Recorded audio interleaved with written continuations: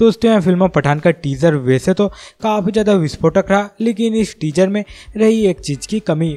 और वो और कोई नहीं, बल्कि थे सलमान खान। जैसे यहाँ सभी को जितना ज़्यादा इंतज़ार था फ़िल्म पठान के टीज़र का, उतना ही सभी को इंतज़ार था कि इस टीजर में हमें सलमान खान की भी एक झलक दिख जाए, क्योंकि यह फ़िल्म पठान में सलमान का हमें दिखेगा एक बड़ा सा केमियो जो कि फ़िल्म के अच्छे खासे भाग रहने वाला है, जिसमें क्या सलमान जमकर एक्शन करते हुए दिखेंगे, साथ ही यहाँ पर शाहरुख को बचाते हुए दिखेंगे, और यह सलमान की एंट्री काफ़ी ज़्यादा विस्फोटक रहेगी।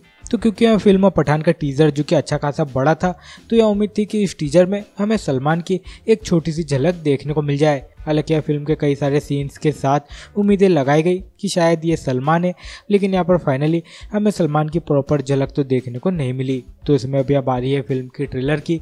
जैसे तो देखने को मिल रहा है कि सेंसर बोर्ड से फ़िल्म पठान के ट्रेलर को पास कर दिया गया है और इसमें सेंसर बोर्ड से फ़िल्म पठान के ट्रेलर को काफ़ी ज़्यादा आउटस्टैंडिंग भी कहा गया और इसमें इस ट्रेलर को कहा जा रहा है काफ़ी ज़्यादा खतरनाक। तो इसमें उम्मीद रहेगी कि इस ट्रेलर में हमें सलमान खान की फाइनली एक छोटी सी झलक तो देखने को मिली जाएगी।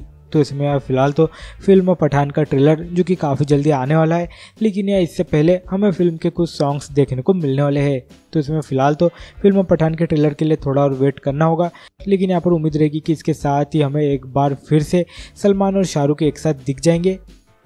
साथ ही और बॉलीवुड से जुड़ी लेटेस्ट अपडेट के लिए चैनल को सब्सक्राइब करें लाइक शेयर कमेंट ज़रूर करें।